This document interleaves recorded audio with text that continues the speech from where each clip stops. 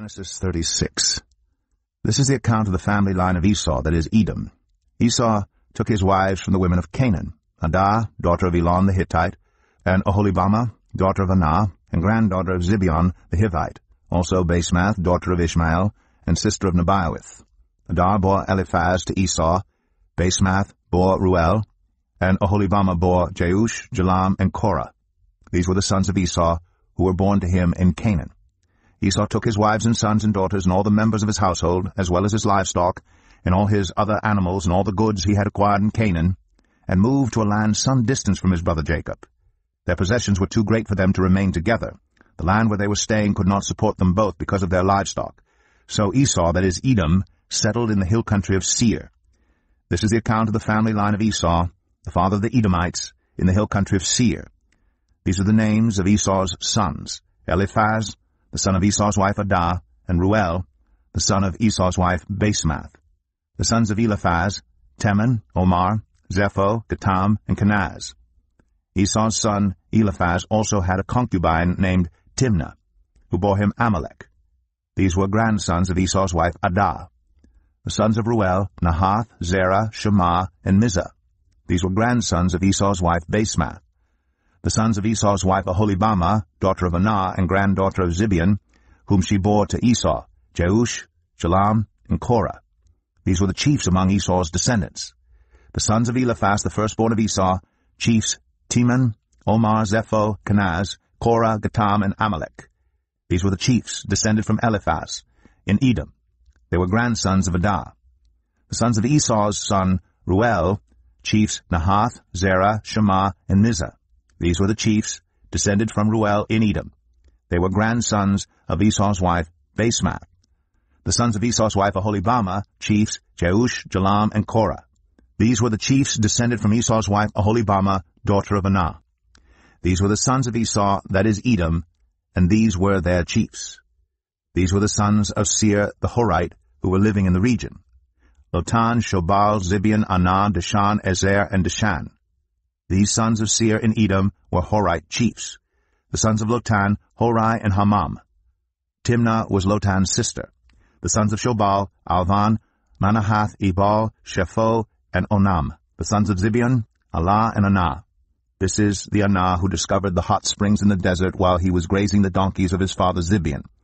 The children of Anah, Dishan and Oholibamah daughter of Anah. The sons of Dishan, Hemdan, Eshban, Ithran, and Cheran. The sons of Ezer, Bilhan, Zaavan, and Akan. The sons of Dishan, Uz, and Aran. These were the Horite chiefs, Lotan, Shobal, Zibeon, Anah, Dishan, Ezer, and Dishan. These were the Horite chiefs, according to their divisions, in the land of Seir. These were the kings who reigned in Edom, before any Israelite king reigned. Bela, son of Beor, became king of Edom. His city was named Din-Habah. When Bela died, Jobab, son of Zerah, from Bozrah, succeeded him as king. When Jobab died, Husham, from the land of the Temanites, succeeded him as king.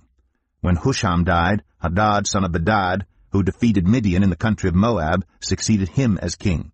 His city was named Avith. When Hadad died, Samlah from Masrekah succeeded him as king. When Samlah died, Shaul from Rehoboth on the river succeeded him as king. When Shaul died, Baal Hanan, son of Achbor, succeeded him as king. When Baal Hanan, son of Achbor, died, Hadad succeeded him as king. His city was named Pau, and his wife's name was Mehetabel, daughter of Matred, the daughter of Mezahab. These were the chiefs descended from Esau by name, according to their clans and regions. Timnah, Alvah, Jetheth, Oholibamah, Elah, Pinon, Kenaz, Teman, Mibzar, Magdiel, and Iram. These were the chiefs of Edom, according to their settlements in the land they occupied. This is the family line of Esau, the father of the Edomites.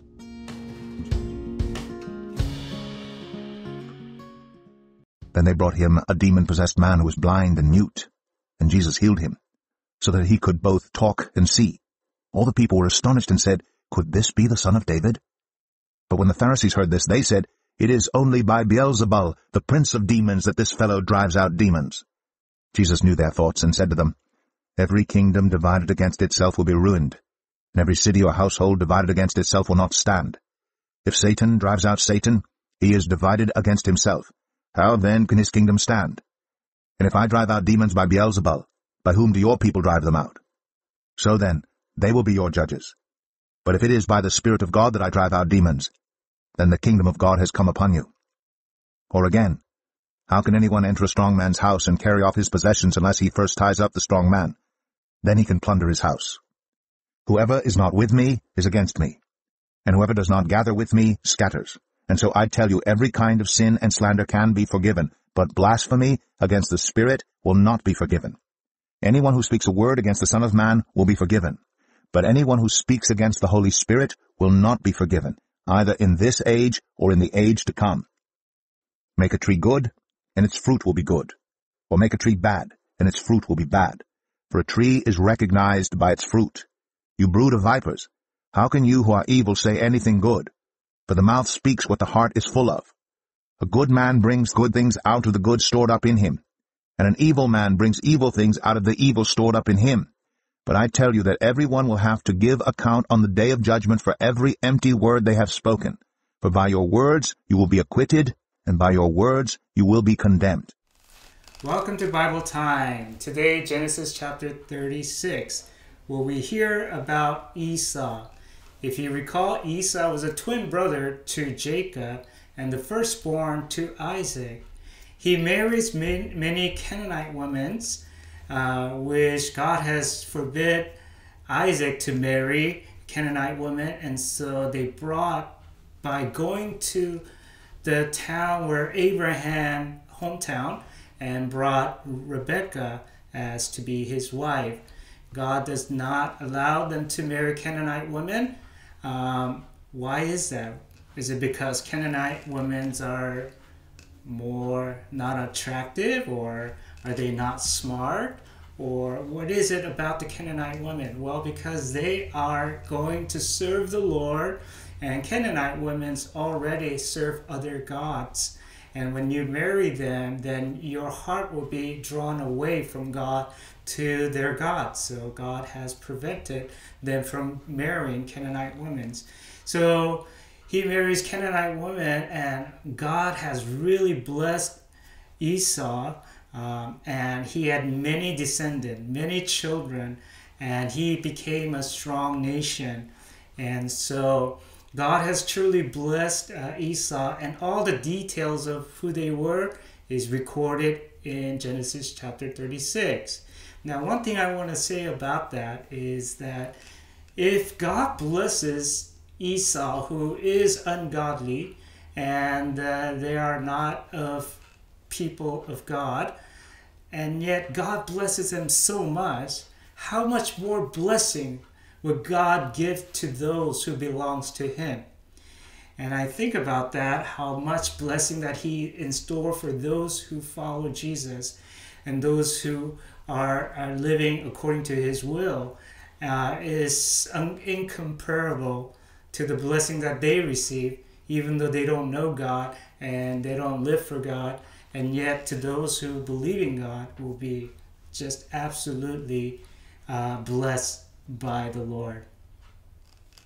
Now, in Matthew chapter 12, verse 22 through 37, you hear about a man who is in horrible, horrible condition Okay, this man was blind and he was mute and he was demon possessed.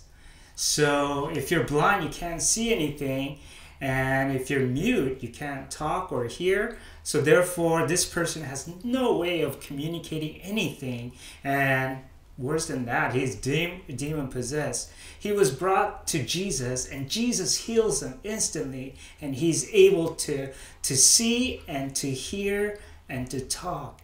And so, and in the right mind, the demon has left him.